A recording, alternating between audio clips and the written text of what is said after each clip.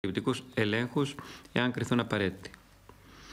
Ανακοινώνονται πρόσθετα περιοριστικά μέτρα πέραν των ανωτέρων και για τη συγκεκριμένη αυτή περιοχή της πατρίδας μας για τους κατοίκους των χωριών Ζουμπούλι και Αρναούτι του Δήμου Μίκη, Περιφερειακή Ενότητα Ξάνθης. Πιο συγκεκριμένα, τα δύο χωριά, σε συνεννόηση με τον Δήμαρχο και τον Περιφερειάρχη, μπαίνουν σε 14ήμερη καραντίνα με απαγόρευση οιασδήποτε εισόδου και εξόδου από την περιοχή. Ο Δήμος, σε συνεννόηση με την Περιφέρεια, θα εξασφαλίσει την τροφοδοσία των 250 κατοίκων που κατοικούν στα δύο χωριά. Η ανάγκη προέκυψε μετά την ανείχνευση πολλαπλών θετικών και ύποπτων κρουσμάτων στα δύο χωριά.